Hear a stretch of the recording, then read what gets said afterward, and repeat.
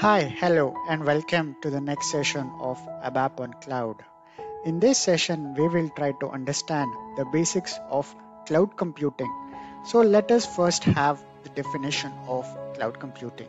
What do we exactly mean by cloud computing? Cloud computing is a cloud computing is a model of computing that is on demand based access to resources anytime anywhere and role based so when we define the cloud computing it is the access to the resources from anywhere role based and at any time. So let us try to break this definition further. If we try to break this uh, definition further, we understand what are the resources that are part of cloud computing. Resources that are part of cloud computing include number one, servers, number two, storage devices. Then the network devices and the networking. So let's generalize this and mention it as networking. Then we have the applications and the services.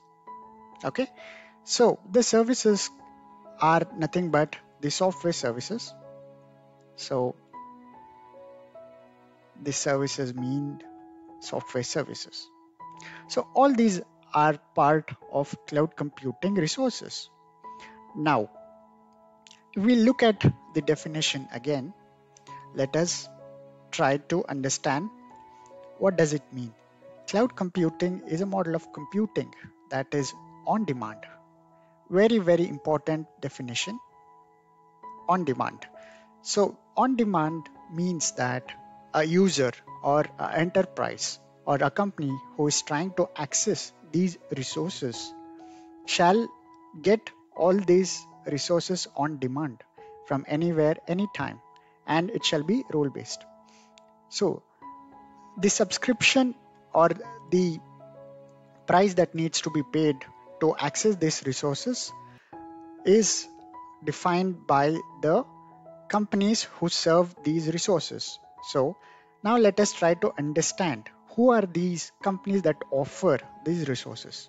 So now let us try to give a name to them. So if we have to give the names of the companies which provide the resources, then the name would be cloud computing service providers. So the cloud service providers service providers.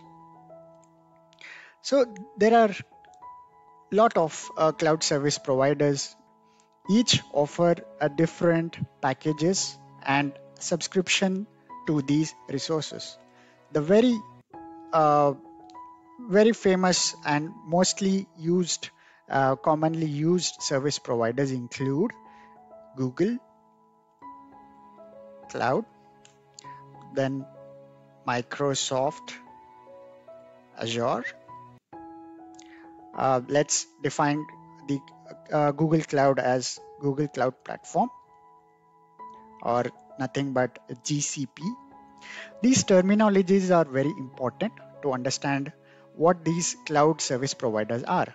So, GCP means Google Cloud Platform, Microsoft Azure. Similarly, we have AWS, nothing but similarly, we have another very important and uh, a major cloud service provider known as Amazon Web Services. So, AWS, Amazon Web Services, very famous, and uh, many of you would have heard about this and might have also subscribed to the different services given by the Amazon.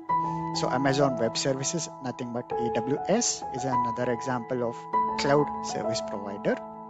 Also, we have Alibaba Cloud uh, by the famous Alibaba company. If you es- essentially look at the the cloud computing model, uh, it is very evident that it is on demand and and and accessible from anywhere. So again, let's let's try to understand it in, in a deeper sense. So when you tell it as anytime, anywhere. Now, anytime means it's a subscription based or on demand. Anywhere means that any device can access it. So it can be accessed by any device. Let us say uh, any laptop. It can be a computer, largely uh, mobile devices, uh, so on and so forth.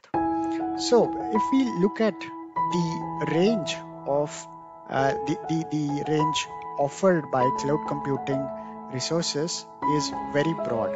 So, it is very important to understand what are its features. So, let us take the features one by one. Now, let us list them down. Okay, the first is nothing but the on demand self service. What does this mean? On demand self service means that a subscriber or a user who wants to access any of these resources, it means a subscriber or any company who is trying to access these cloud resources can raise a request and get the access to them without any intervention or any support from IT staff or any administrator. So this actually takes out a middleman who is responsible to bridge the gap between a request or requester who is trying to access these resources and a service provider who is trying to cater to the needs of the company or an individual requester. So this is a very important step uh, in in order to almost automate and reduce the manual intervention and have a flexibility to do it on demand without trying to wait for any uh, any any manual uh, intervention by human interference. Okay?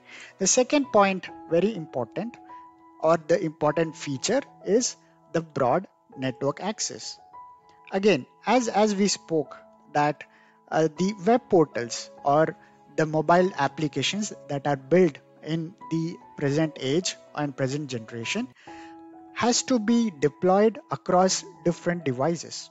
And and also it should be applicable uh, to any of the users who are trying to access from different devices. So it can be tablets it can be mobiles it can be laptops or any devices and when we mean network access the broad network access it means to say that the different features that are part of the solution which is provided to the end user is available right across all these devices that are part of the platform. This gives a end user a seamless access to same set of resources and the solutions. So essentially the application can be run from any of these devices from any part of the world. Now let us try to look at the third and very important feature of cloud computing. It is known as the resource pooling. So, what we exactly mean of resource pooling is that the resources that are part of the cloud computing platform, respectively, like the computers, computers, the uh, computational, let us say the computational, computational capability. It can be the network or the networking devices and the other like the storage uh, which can be memory devices are all part of this resource pool. So when we are having a cloud computing feature enabled. So any of these resources, computational capability, network devices, storage can be accessed at any given point of time. And also the next point, which actually tries to enhance this uh, availability of resources is nothing but the rapid elasticity okay? So uh, if we merge point 2 and 2 3 and 4 what it essentially means is that in com cloud computing we have the rapid elasticity. That means at any given point of time these resources again i repeat the resources like the network devices storage devices like memory and the computational capability can be upscaled and downscaled basis on the demand. Very, very important features of cloud computing, rapid elasticity. So rapid elasticity mean that it means that there is capability to upscale, downscale the features of your solutions or the resource elasticity. Okay. Moving on to the next point, the fifth important point of cloud computing is metering. What do you mean by metering? Metering means to track to track the consumption patterns to track the consumption patterns in a given cloud platform so it's very important for two things. Now, when we are looking at the cloud computing features, this would be rolled out to many users and which, which is wide across the world, which is spread wide across the world. So there's also always a need for the administrators or the cloud platform admin to look at what are the consumption patterns, which time it has been consumed, how much it has been consumed, which region the consumption is happening most from and also where it is least. So all this enables not only to optimize the resource pooling and the consumption patterns but also optimizes the cost effectiveness of the solution and the rapid uh, deployment of resources based on the uh, demand of a particular time zone or particular country on a particular given point of time so this adaptation that can come as a flexibility to the solution providers enables them to cut cost and also optimize the resource consumption. Very important point metering. So metering also comes as one of the features of cloud computing. Moving on to the next topic, it is known as rapid deployment. Rapid deployment. Why? Why is it very important? Uh, feature of cloud computing is because the time to market, the time to market is cut down substantially when there is a feature of cloud computing.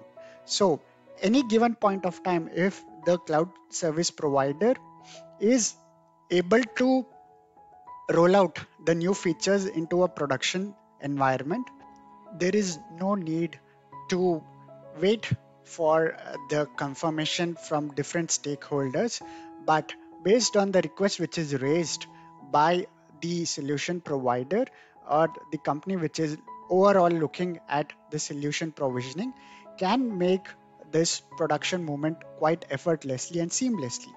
That is why the rapid deployment is very important so that the code movement let's say in terms of sap uh, there's a movement of code from development to quality and then to production. It becomes a easier uh, feature part of the cloud computing that enables the movement of the code from dev to quality to production. So any given point of time without having to wait for any of these servers the features the new latest features can be rolled out very easily. So the rapid deployment can be achieved effortlessly so let us now conclude what are these features. So I'll run through them again for your better understanding. So let us go one by one. One important features, the first important features of, of cloud computing is on-demand self-service. That means any end user or the organization who wish, wishes to utilize the cloud computing resources can do it without having to wait for any administrative intervention or manual intervention and can just raise a request and wait for the resource to be allocated any given point of time. Number two is the broad network access essentially means that these cloud computing features or the applications can be accessed throughout the world wherever there is a provisioning of the services and internet capability is present and right across any of the devices without having to compromise on the features which is given for a particular device. So the device compatibility can also be achieved through cloud computing. Uh, the third point, the resource pooling, computational capability, network devices, and the storage all can be bundled up together and the upscaling and the downscaling can be done seamlessly without any effort. The fourth point was the rapid elasticity that you get, which contemplates the point three because rapid elasticity means that the resource can be uh, downscale, linked, delinked, decoupled, coupled at any given point of time. They can be decommissioned and commissioned at any given point of time. The fifth point, metering. It is a very important point to keep a track on the consumption patterns in a given uh, cloud platform. And the final point, uh, the rapid deployment. That means at any given point of time, the code movement can be done from any of the system to uh, the next system. So let us conclude the cloud computing features here.